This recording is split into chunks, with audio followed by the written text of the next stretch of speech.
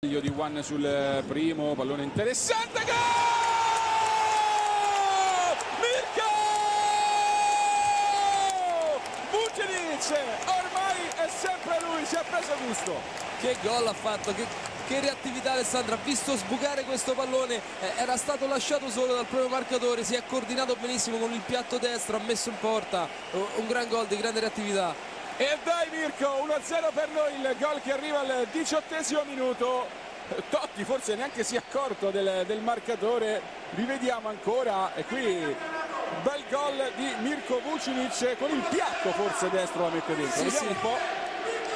Eccolo qui, sì, piatto destro 1-0 per noi, ancora Mirko che Sì. segna un altro gol nel giro di quattro giorni dopo quello realizzato bellissimo ad Atene, 1-0 per la Roma. Bravissimo a liberarsi di Capuano che non so cosa stesse guardando, era girato